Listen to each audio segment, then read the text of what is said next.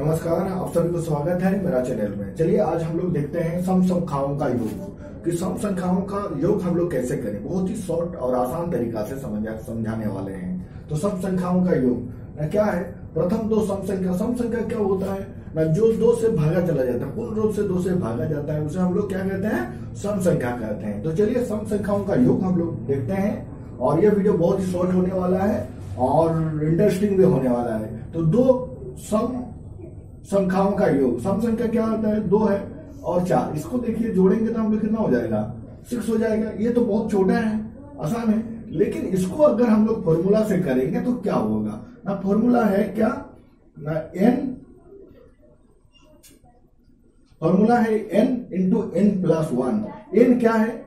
N N क्या है? N बराबर क्या है? ना सम संख्याओं की जो गिनती होगा, वो संख्या कितना है? संख्याओं का गिनती होगा ये वाला। संख्याओं की गिनती। कितना संख्या है? कितना संख्या है? उसका गिनती है, एक और दो। यानी कि n बराबर यहाँ पे कितना हो जाएगा? टू। तो हम लोग इसको किस प्रकार से इसको सोल्व किए? ना two into two plus one यानी कि टू प्लस दो आ रहे कितना हो? टू प्लस तो नहीं होगा, टू इंटू है, टू इंटू दो कम तीन तीन दो सिक्स हो गया। देखिए, सिक्स हो गया कि नहीं? तो ये तो बहुत छोटा था। जब इसको हम लोग बड़ा वाला करेंगे तो ये अलग चीज़ हम लोग को समझ में आ जाएगा कि इसको देखिए, अगर यहाँ पे हम कर देते हैं पाँच पाँच सम संख्या पाँच सम संख्या हम लिख लेंगे, दो प्लस चार छ आठ, एक, दो, तीन, चार आठ कितना हो गया? दस। तो इसको हम जोड़ेंगे। तो कितना संख्या है? देखिए, एक, दो, तीन, चार, पाँच। तो हम यहाँ पे फॉर्मूला में पुट करेंगे पाँच। और पाँच प्लस वन तो क्या हो जाएगा? पाँच और याला सिक्स फाइव एंड सिक्स तो पाँच से कितना हो जाएगा? तीस। यानी इसका जोड़ होने वाला है, इसका जोड़ होने वाला है थर्टी तो बहुत सारे जितने भी हम लोग सम संख्या को जोड़ेंगे तो उसको इस प्रकार से, इसको समझना है। ये अलग formula draw n into n plus one तो एन क्या है?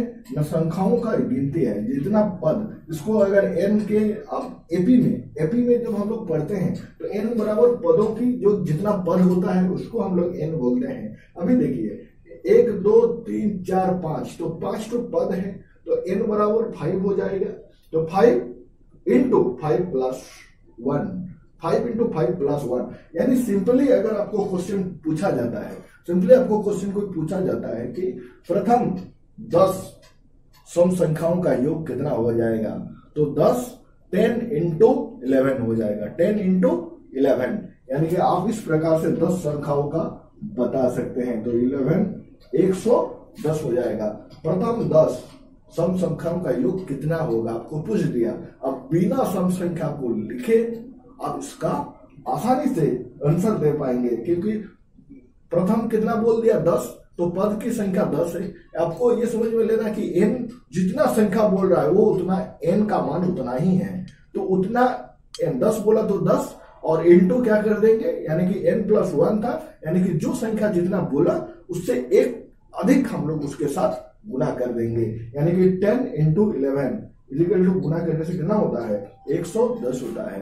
तो इस प्रकार से आप कोई भी, कितने भी संख्या आपको बोले, आप आसानी से उसका बिना जोड़े आप इस फॉर्मूला से बता सकते हैं। तो समझ में आया होगा आपको? चलिए, धन्यवाद।